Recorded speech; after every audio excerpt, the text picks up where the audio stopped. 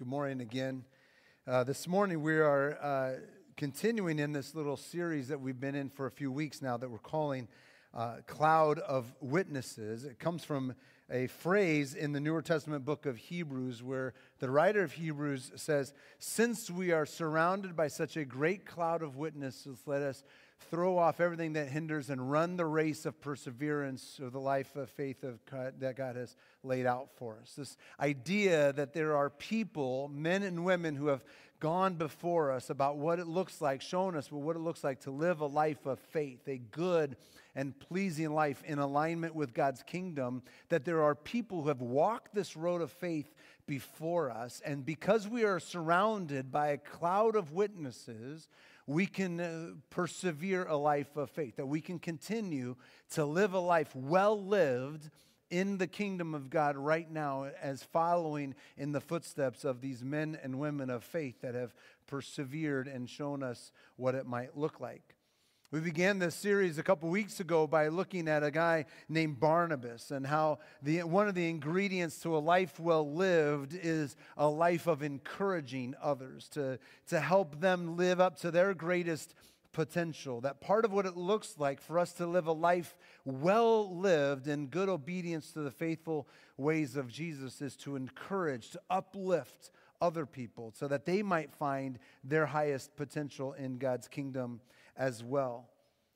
The last week we looked at this Ethiopian eunuch, the high official in Ethiopia, and what it looks like to live a life connected with brothers and sisters who are also hungry for the things of God. That part of what it looks like to live a life well lived in the kingdom is to be surrounded with people who are also hungry for the things of God and God's kingdom as well.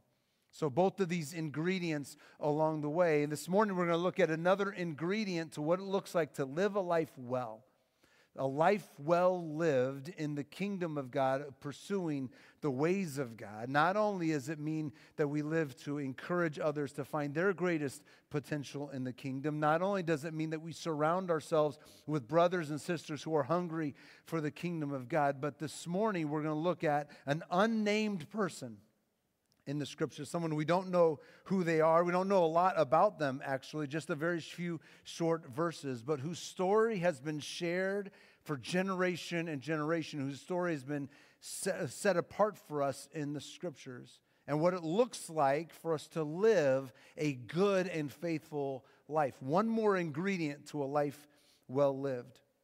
Her story is found in Luke chapter 21. So if you have a Bible with you, I'd invite you to open up, or if you have an app on your phone or somewhere, Luke chapter 21. There's only four verses here. It's a very short story, but Luke chapter 21, verses 1 to 4, and this is the story as it reads this way.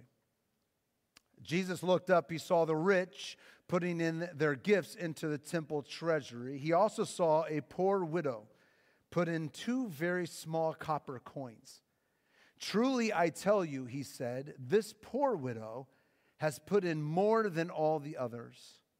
All these people gave their gifts out of their wealth, but she gave out of her poverty and put in all she had to live on. The subject of money is one of those taboo subjects that we don't really like to talk about. We'd rather kind of brush past some of these aspects of what it looks like to live well as it relates to our finances, to our money. In particular, there's a stigma at the, about the church that the church is always talking about money. And, and many of us throughout the years, if we've been around church, have heard messages full of guilt and shame and makes us squirm in our chairs just a little bit whenever the subject of money comes up. And I hope you know me well, or you're getting to know me well, and I've got no desire or no intention to be a guilt driven, shame based pastor, nor do I have any desire to make people unnecessarily uneasy. But we do need to pay attention to these things. I like actually what Philip Yancey wrote once in a little booklet on money. He writes this He says, Mostly, I wish I did not have to think about money at all. But I must somehow come to terms with the Bible's very strong statements about money. Because the Bible does And Jesus does have a lot to say about how to live well, and he also has to say about how we handle our finances and our money. So we're going to wade into this kind of taboo subject along the way, always seeking wisdom from Jesus about how to live well. How to live well. So before we jump too far into what Jesus and this poor widow may teach us about life in his kingdom, let me pray for us, seeking his wisdom. Father, Son, and Spirit, we ask that you would be our teacher today, that we humbly surrender to your teaching, your truth, your wisdom about how to live well in this life. And in particular, in the difficult subject this morning of our money, I pray that you would bring us grace, wisdom, and humility. Along the way, may we experience the life you have called us to. It's in your name we pray. Amen. So, this morning, through this poor widow, unnamed woman in the scriptures, through her experience, I hope us to understand the beauty of a life of giving.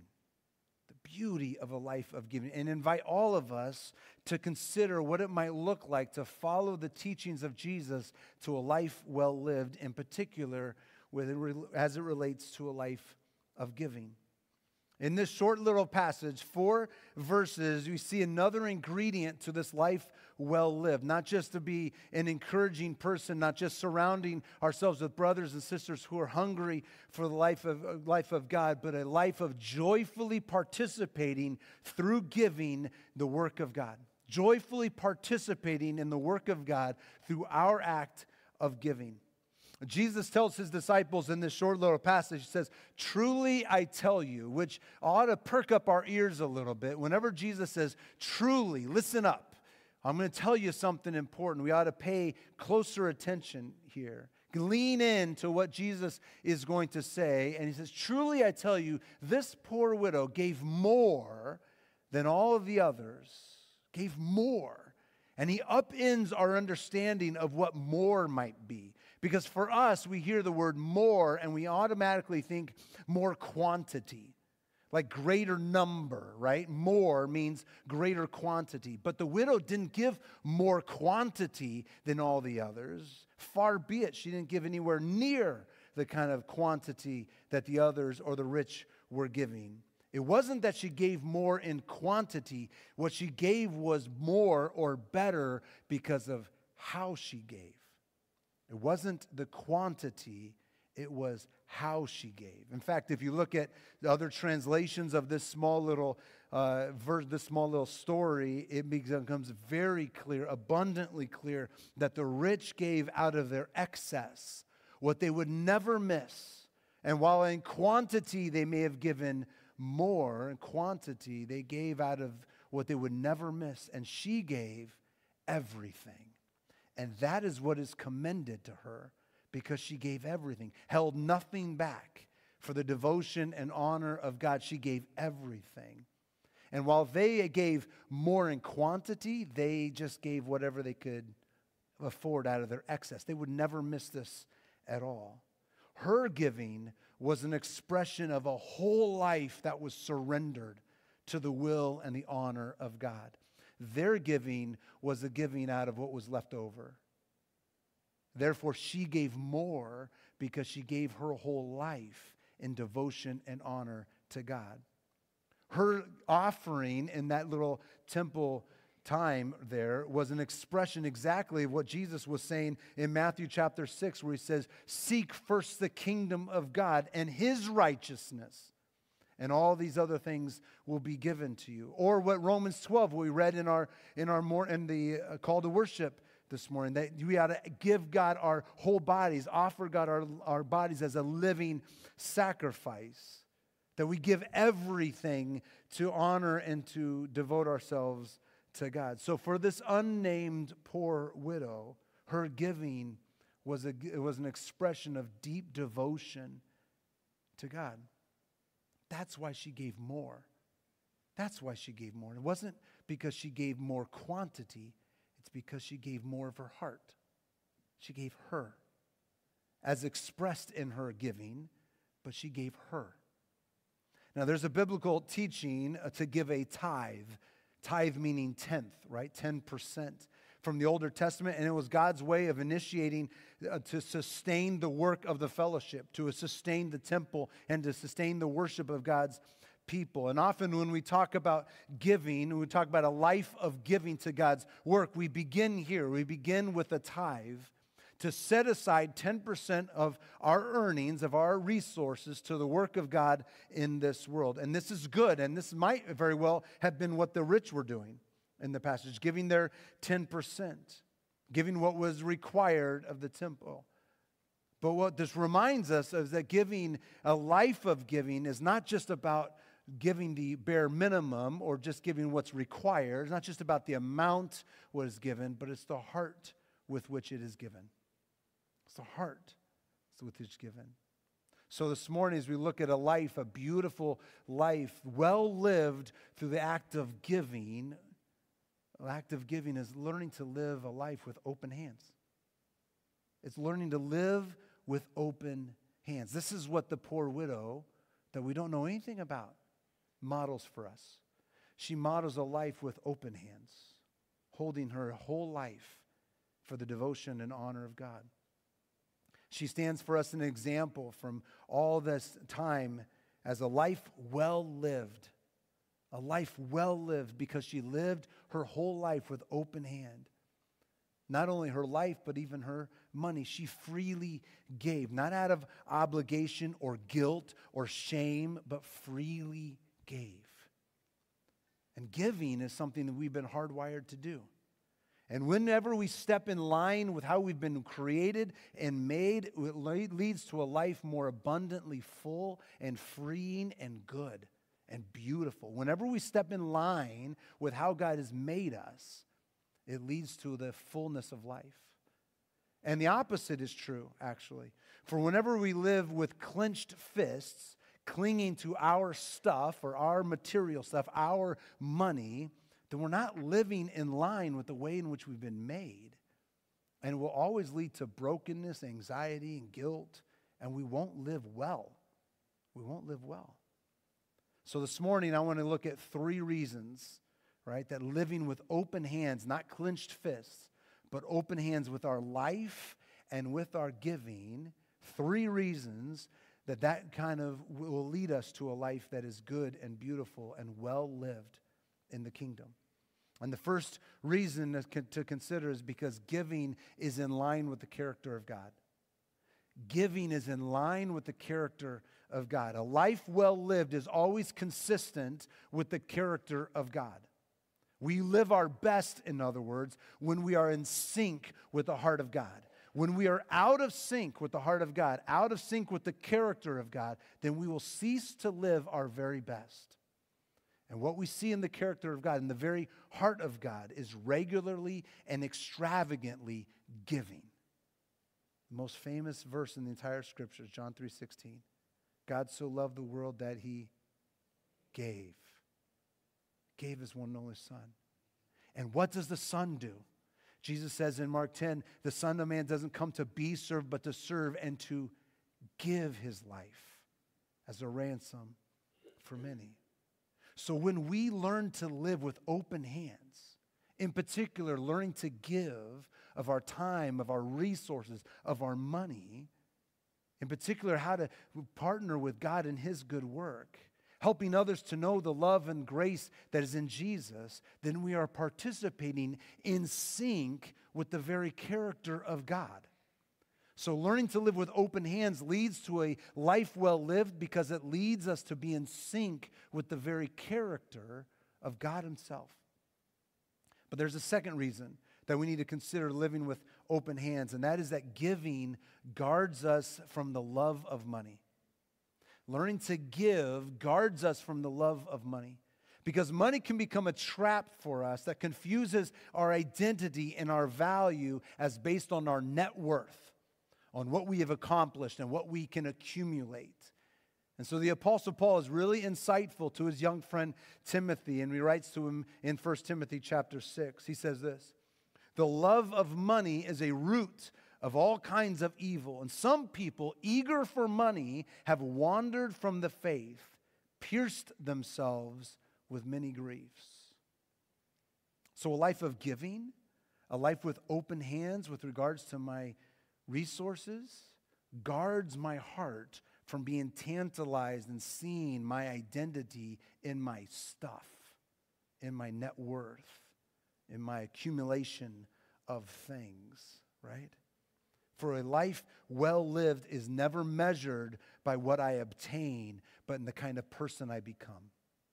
A life well lived is not measured by what I obtain, but the kind of person I become. That's not to say that we all take a vow of poverty, though for some, I'm sure it might mean that. It means that when I regularly give to the work of God, it is a way for me to set my priorities on heaven, on heavenly things, on kingdom things. And when my priorities are set, then I avoid the trap of materialism, of clinging to my identity in my stuff and my bank account.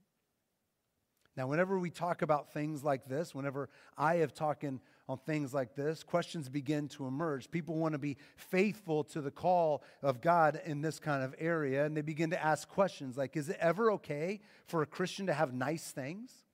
Is it ever okay for a Christian to have a nice car or, or go on a nice vacation or have a nice big house? I mean, how much is too much, right? How, all these kinds of questions. So, over the years, I've had to respond to many of these questions, and you might be thinking some of these as well. So, admittedly, uh, let me give you my response to these kinds of questions. Now, this is my response.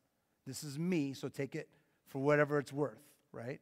This is my response. Whenever someone asks me, is it okay for someone, Christian, to, to do these things, have these things, go on these vacations or whatever it is? I always respond with three questions. Number one, have I given first priority to faithfully giving to the work of God? The local church? Have I already given faithfully, of a top priority, to the work of God in the local church? Am I setting aside 10% of, or more of my resources to the work of God? Am I being faithful regularly in my giving? Secondly, am I living within my means? Am I avoiding consumer debt at all costs? Purchasing things I cannot afford? Can I just kind of live under my means and within my means here? And then, third question Will this purchase or this vacation or this home still allow me to be faithful to my faithful giving to the work of God? Am I being faithful? Am I living under my means? And will this purchase or vacation still allow me to be faithful to the call of God of giving? And if the answer to those questions is yes, I am being faithful to God, and yes, I am living under my means, and yes, this purchase will still allow me to be faithful and to be generous and live with open hands, then make the purchase. Go on the vacation, buy the car, buy the house. By all means, it's okay to live this way. But if the answer to one or more of those questions is no, well, then perhaps holding off on that purchase or that vacation is necessary until I can settle my priorities on the kingdom. I hope that helps you. Three questions Am I being faithful? Am I living under my means? And will this purchase still allow me to be faithful? I hope that leads me to the third thing to consider with regards to living with open hands and how that leads to a life well lived. It's what I've been alluding to this entire morning, right? Giving is about the heart. Giving is about the heart, it's about the motivation. It's about what's driving us. So, yes, there's a principle of the tithe, and I don't see Jesus getting away from that.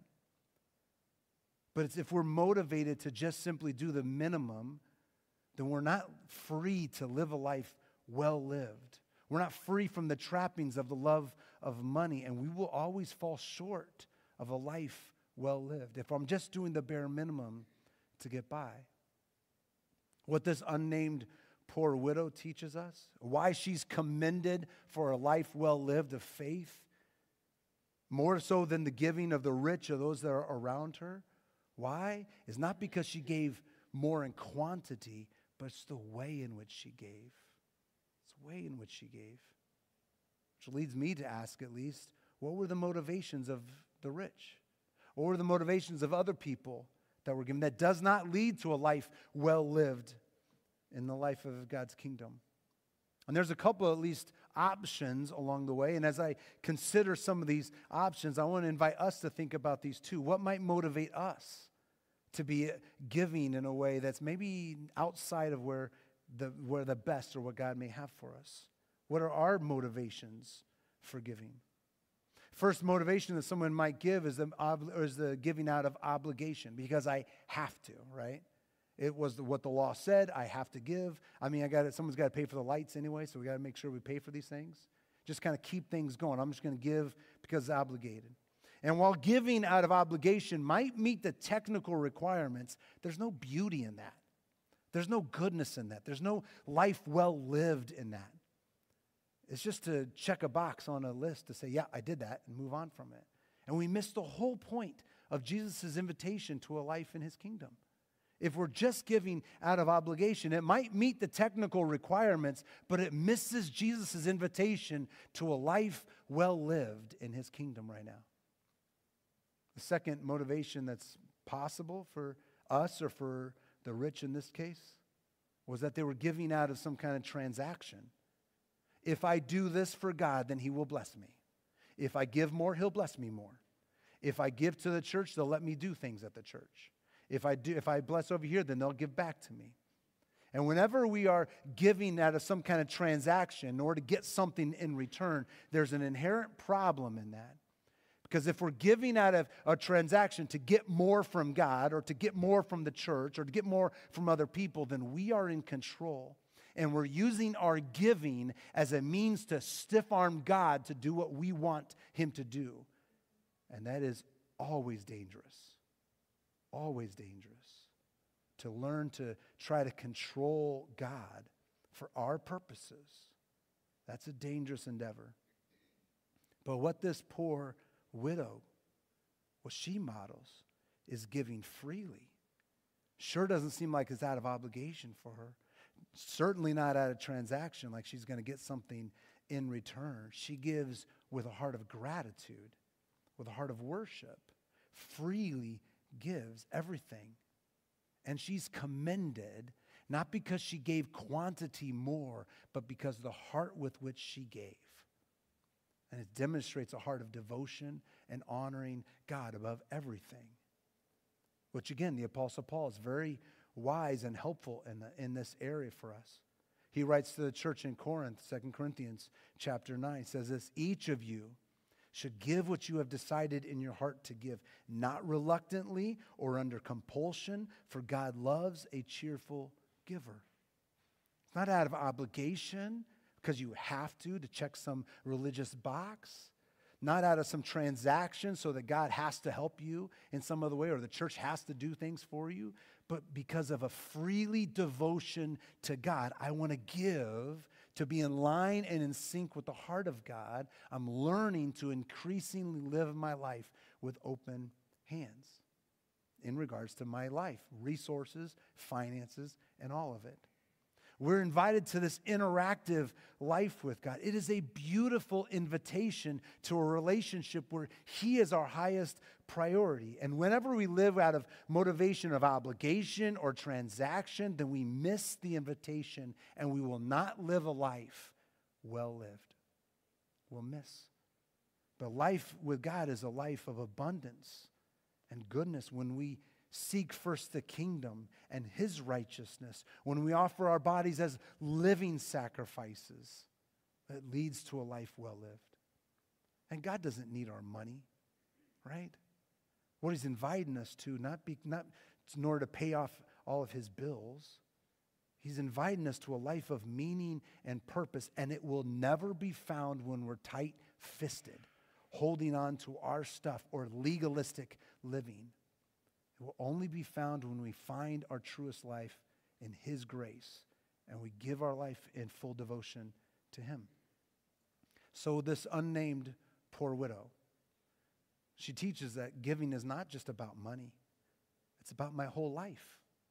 It's about opening my whole entire life, including how I perceive money and how I handle money to prioritize the worship of God, to freely give to the work of God in this world, and to trust Him to meet all the needs of the people around me and myself included, to learn to live my life practically seeking first the kingdom of God, to priorities in heaven above the things on earth that my heart and my mind may be filled with godly things. Now, I don't want to lead us down any kind of legalistic approach towards our giving and towards our, our time with our money, where we're constantly worried did I give enough? Is, did I check off enough boxes and all that? That's just a heavy burden of obligation and legalism that doesn't do anybody any good, certainly doesn't live, lead to a life well lived in God's kingdom.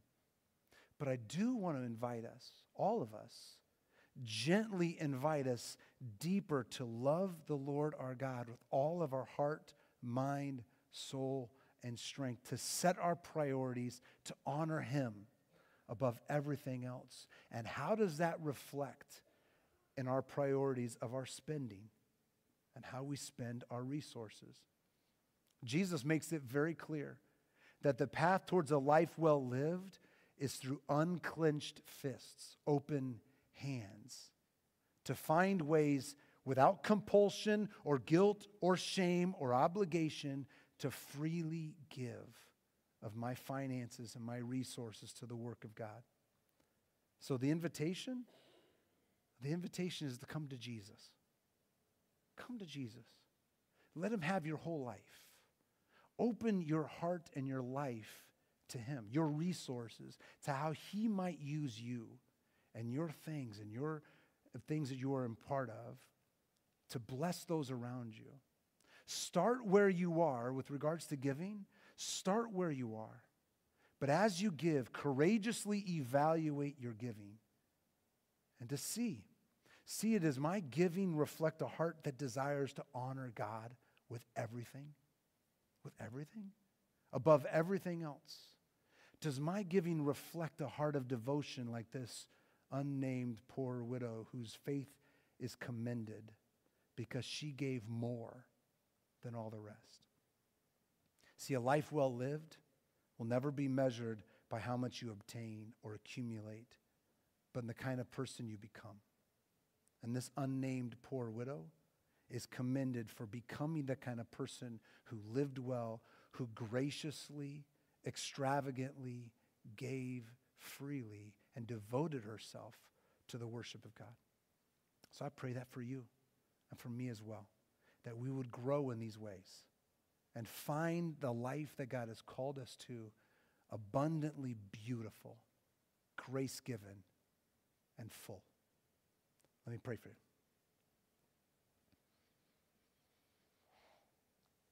Jesus recognize that this subject can bring up all sorts of feelings and anxieties along the way.